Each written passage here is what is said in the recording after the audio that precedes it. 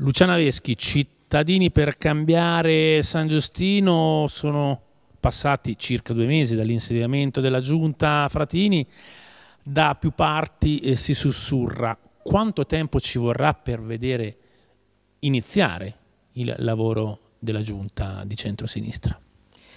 Buonasera innanzitutto a tutti. Dunque, in, mm, diciamo che eh, questo mese di rodaggio magari ce lo aspettavamo anche noi, chiaramente.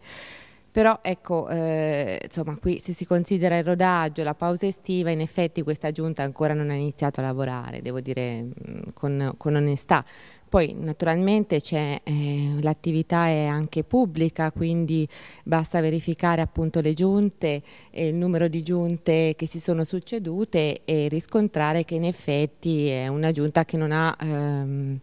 praticamente ancora iniziato ad operare. Quindi ci aspettiamo che eh, insomma, i tempi morti siano recuperati anche celermente, visto che c'è un'estrema necessità di intervenire e soprattutto di lavorare. Ecco, è stata, mm, per, per, per adesso devo dire soltanto che un grande attivismo si è manifestato da parte della giunta e del sindaco nel partecipare a tutti gli eventi, ehm, se vogliamo, folcloristici, paesani, che per carità hanno rilevanza, però eh, la partecipazione l'organizzazione di eventi di fatto che, sono, che fanno parte nostra, del nostro folklore, della nostra praticamente eh, voglia anche di, di, socializzare è un po' eh, riduttivo. C'è bisogno di concretezza e soprattutto di eh, riscontrare un'amministrazione un che lavori. Nei primi 100 giorni si era sussurrato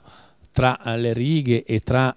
uh, le promesse, chiamiamo promesse uh, della campagna elettorale, elettorale, lavoreremo subito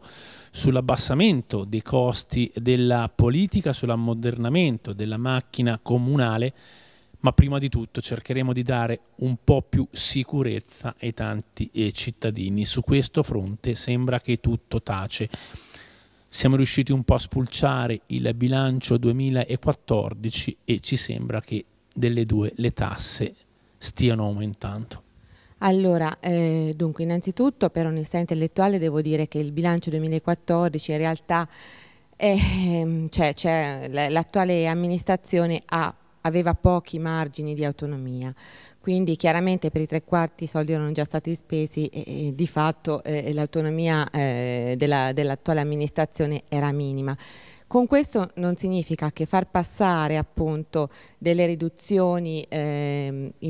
relative alle imposte eh, da parte della nuova amministrazione è del tutto ingannevole nei confronti della cittadinanza, anche perché abbiamo riscontrato che di fatto così non è, perché laddove c'è un minimo di riduzione per quanto riguarda l'IMU, e poi in realtà vediamo che c'è eh, praticamente un'imposizione un della Tasi che comunque sia compensa Bisogna dire per quanto riguarda ehm,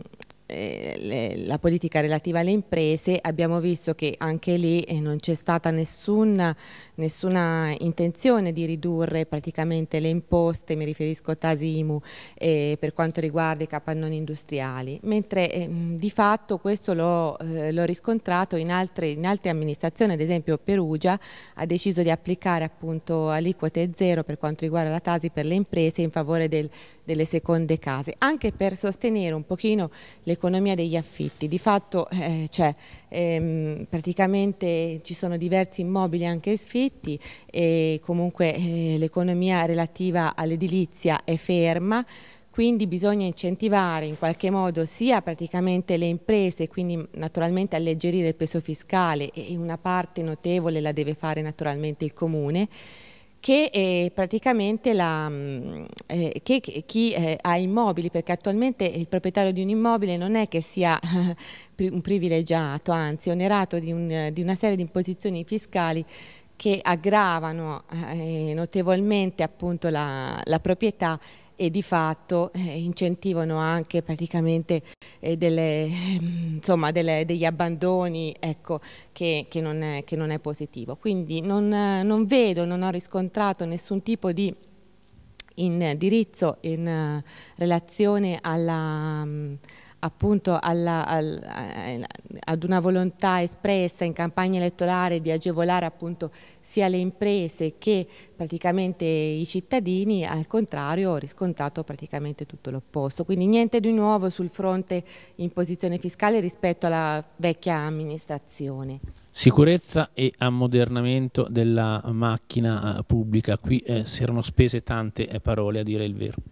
Beh, c'è un, un, assessore in più, quindi questo comporta degli oneri aggiuntivi a livello naturalmente eh, da parte della pubblica amministrazione. Ho riscontrato che nessun, assenso, nessun assessore ha rinunciato all'indennità, tutti percepiscono l'indennità prevista per legge, quindi, quindi eh, eh, per chiarezza chi è un dipendente pubblico praticamente, eh, chi è un dipendente naturalmente ha diritto ad un'indennità eh, ridotta già eh, per legge, oltre a questa riduzione di legge non c'è stata nessuna ulteriore riduzione per quanto riguarda gli assessori, poi ci sono due assessori che percepiscono un'indennità piena, in particolare l'assessore Mancini e l'assessore Manfroni, e poi c'è il sindaco che si è ridotto minimamente praticamente l'indennità, ma eh, io eh, Comunque quello che punterei più che altro è sul fatto che in effetti è un'amministrazione assente, perché comunque anche da quello che si riscontra praticamente all'interno del sito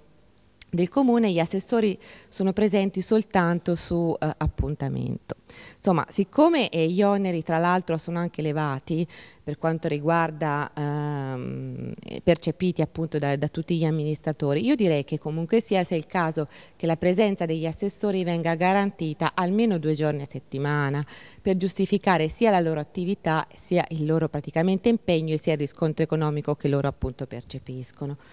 Ora, mh, che il sindaco non fosse stato presente, questo lo sapevamo noi, lo sapevano anche chi l'ha votato, quindi chiaramente voglio dire, non è che questa è una sorpresa. Mi sorprende molto che non lo è neppure il vice sindaco, perché in effetti, siccome il sindaco non ha assunto su di sé nessun tipo di delega, ed è un caso più unico che raro, chiaramente, eh, delegando appunto gli altri, i delegati devono garantire una presenza. Presenza non significa soltanto presenza fisica, ma significa lavoro. Parliamo di eh, sicurezza, ci spostiamo sul corpo dei vigili urbani, la Polizia Municipale di eh, San Giustino. Ci dovrebbe essere al, in tempi brevi l'accorpamento, credo, tra il comune di Citerna e il comune di San Giustino, ma ai noi eh, ci risulta che manchino 2 o 3 mila euro per arrivare a fine anno, questo credo per garantire alcune spese o gli emulementi del corpo dei vigili urbani. In effetti di tagli non se ne parla, quindi logicamente non essendoci tagli, eh, voglio dire, è difficile individuare risorse eh, diverse praticamente eh, eh che possono compensare appunto le carenze. Io avrei pensato, avrei sperato che questa amministrazione avesse comunque tagliato partendo proprio dai, prima di tutto dalle proprie indennità. Così non è stato e, e tra l'altro questo accorpamento che di fatto è stata una decisione subita, non fa altro che penalizzare maggiormente il comune di San Giustino perché logicamente voglio dire ha a disposizione maggiori risorse ma non per altro, soprattutto perché comunque è più grande e, e non, è, non è, ecco, chi ci perde è il comune di San Giustino, insomma, chiaramente. Ma la, per quanto riguarda invece il problema sicurezza è un problema arcinoto e, e speravo che in effetti fosse affrontato con maggior eh, mh, con maggiore impegno. Non ho riscontrato nessun tipo di iniziativa in merito, anche per quanto riguarda l'attività la, la, appunto di coordinamento con gli altri organi ehm, di pubblica sicurezza. Diciamo che a parte una, una conferenza stampa appunto del sindaco che ha proclamato praticamente un, ehm, un intervento da parte della polizia provinciale in simbiosi con eh, concretamente qui non abbiamo ancora visto nulla. Così come anche per quanto riguarda il turismo, eh, perché di fatto dobbiamo dire che stranamente questa estate, che comunque sta per terminare, sta volgendo al termine, è stata una delle più proficue di questa zona perché eh, grazie al tempo, se vogliamo in questo caso possiamo anche ringraziarlo, la nostra zona, da, insomma, quindi tutto l'Alto Tevere ha risentito di un beneficio positivo perché magari chi era orientato per le vacanze marittime eh, comunque ha cambiato destinazione volgendosi soprattutto alle, alle città culturali, quindi Firenze, Roma e sono passati molto anche per l'Umbria. Io per prima ho riscontrato diversa gente che comunque sia intendeva mh, visitare appunto il Castello Bufalini, mi aspettavo, visti i proclami, che ci fosse anche lì un maggiore impegno. In realtà grazie sempre all'Associazione Amici dei Musei il castello è aperto il fine settimana, ma non si può sempre delegare agli altri, alle associazioni, eccetera. Quindi di fatto manca comunque un'attività, un impegno. Ecco. Brevemente, a questo punto come vi muoverete? Allora, intanto eh, io posso rendere noto quello che, eh, una, quello che fa parte appunto dell'attività amministrativa a cui io ho partecipato. Per quanto riguarda la, mm, la commissione urbanistica si sono svolte due o tre commissioni in cui la prima decisione da parte dell'amministrazione è di sostituire appunto la fontana. Questo comporta un ulteriore sborso di 12-15 mila euro per computo metrico